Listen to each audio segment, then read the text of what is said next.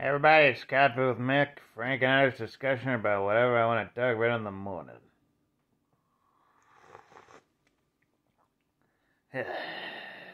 this video gets more than like, I don't know, 10 views, I'll be lucky.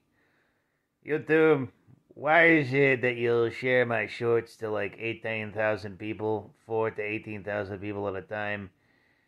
Yet any video longer than a minute just gets lost on the wayside most of the time. Ugh.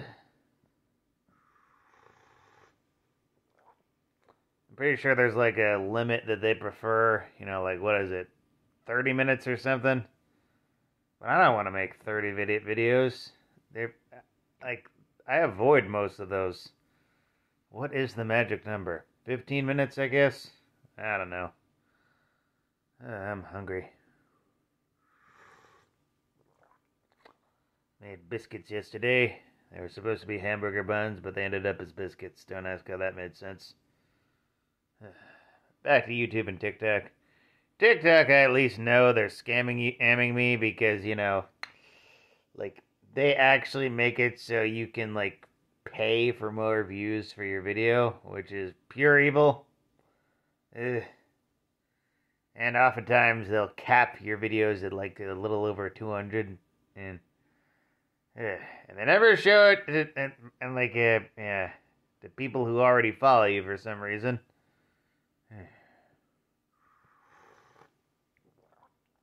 I made like one that like went viral on here making fun of like McDonald's and it's like I don't know the perfect length for a TikTok video. I don't know the perfect length for a YouTube short. It's very confusing and trying to get monetized is not impossible, but hey, it's a hobby. That's my advice to people who want to get into that, this. Think of it as a hobby, not a career, because only the lucky ones ever really get famous, you know? And you're probably thinking, oh, what with all those YouTubers retiring, you know, I might get my shot. Yeah, you might, but let's get real here. might make myself my own Discord finally. People have been wanting me to do that. Mick the Man's Cave. also, ironically, gonna have to probably change my YouTube name to Mick, to Mick the Maverick permanently, because there's a singer called Mickman, and I don't know if his thing came out first or if my thing came up before him. Either way, when you Google Mick the Man, I do not show up at all, even if you put the in there. Ugh. Yeah, good copy today. Sorry if this is just a bit of a downer. Some uh, amateur YouTube Uber complaining about a lack of views or anything.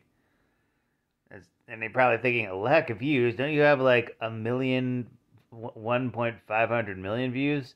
Yes, I do, but that's apparently not enough to get monetized somehow. I need to get like 3 million views in a three month period or 4,000 watch hours in a like 365 day period.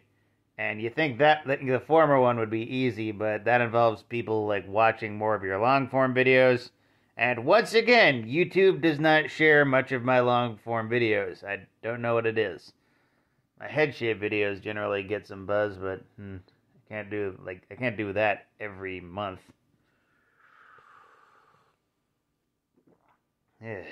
What are you gonna do?